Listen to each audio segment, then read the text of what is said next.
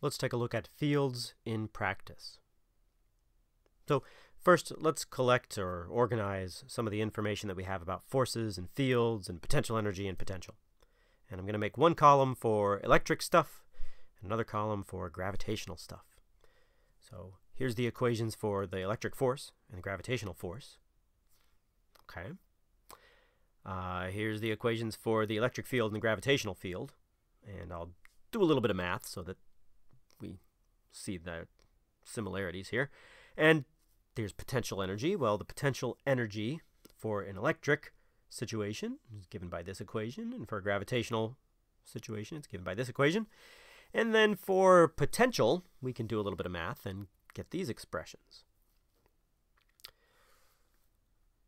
You may notice, when looking at these equations, there are many, many similarities here. So why would that be? Why are electric and gravitational forces and fields and potential and potential energy, and why are they so similar? Well, these both are a type of force known as inverse square law forces, which are pretty common in physics. Inverse square law forces are forces where the force is proportional to 1 over r squared, where r is the distance between objects that are experiencing the force, or causing and experiencing the force, really. So, for example, the electric force is given by F is equal to KQQ over R squared, and the gravitational force is given by F is equal to GMM over R squared. They both have that R squared in the denominator. Now, remember, the field at a location is the force per charge or force per mass. Uh, so we can get an expression if we have an isolated point charge.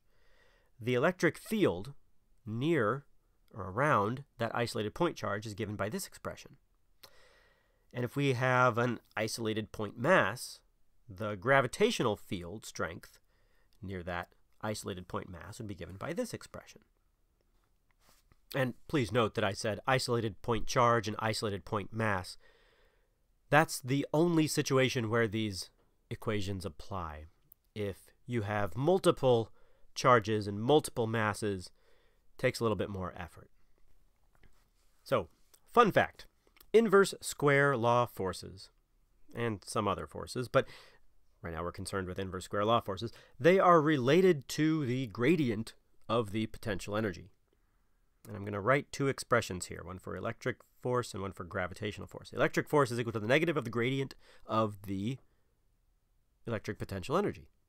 And the gravitational force is equal to the negative of the gradient of the gravitational potential energy. And we can show this, or using this, we can get expressions for electric potential energy and gravitational potential energy. Now, I'm not going to go into a lot of the details here. There's a lot of negative signs that are being played with fast and loose, and I'm not going to explain really why this is true or go through the arguments about why this has to be true. But one takeaway that I want you to get from this is that there are some relatively deep and abstract connections between these quantities. And another fun fact is that for inverse square law fields, they are related to the gradient of the potential. So, for example, the electric field is equal to the negative of the gradient of the electric potential. And the gravitational field is equal to the negative of the gradient of the gravitational potential.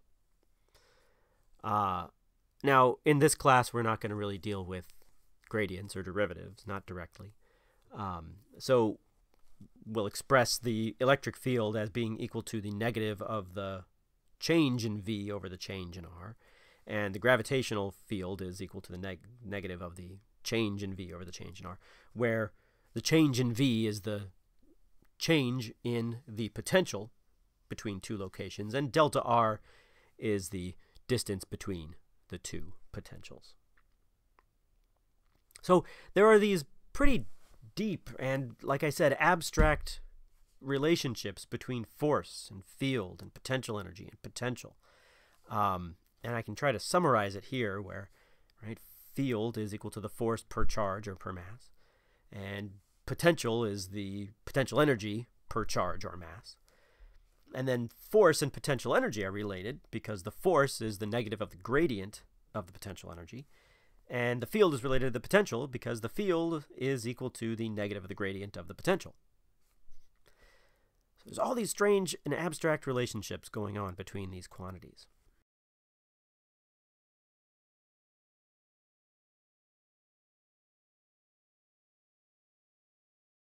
Let's start with a uniform field. A uniform field is when the field is the same everywhere. You have a constant value of the field at all places. Um, we see this for electric fields. We see uniform electric fields between plates that carry opposite charges. So, like, for example, very large capacitors. Uh, we also see pretty roughly uniform gravitational fields if we consider locations near the surface of the Earth.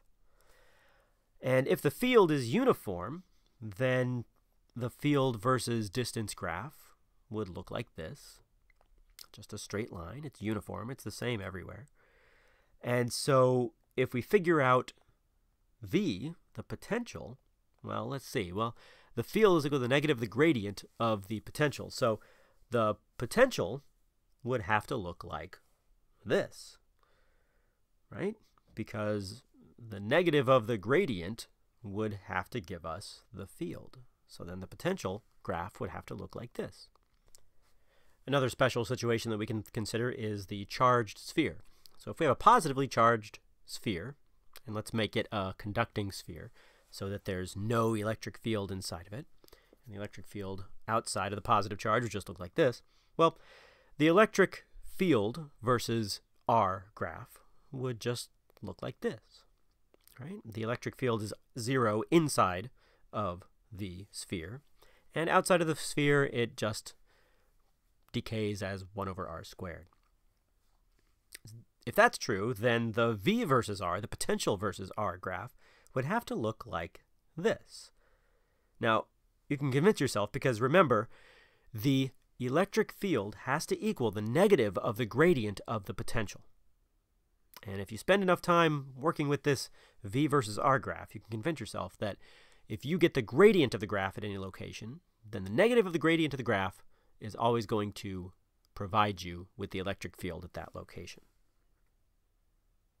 All right, now let's take a look at escape speed. So escape speed is defined as the speed that's necessary to completely escape the gravitational influence of an object. In other words, it's the speed that you need in order to just barely reach infinity. So let's draw a graph of potential energy versus R. Uh, if you're at some distance right here, uh, the question is, how fast do you have to travel in order to get to R equals infinity? Well, if you're at this initial location, let's call it capital R, then the potential energy that you have at that location is equal to negative gmm over r. At infinity, your potential energy is equal to zero, right? If you're at infinity, look at that graph, if you're at infinity, gravitational potential energy is equal to zero. So, if we assume that no energy is lost or gained in this situation, then the initial, initial energy has to equal the final energy. The initial energy is whatever kinetic energy the object has at the beginning, plus the potential energy that the object has at the beginning. And at the end, let's assume that it just reaches infinity. So when it reaches infinity, it doesn't have any extra energy at all. So all it has is its potential energy, which is zero. Okay, so in that situation, if we solve for this, we get v is equal to the square root of 2gm over r. That is an expression for the escape speed.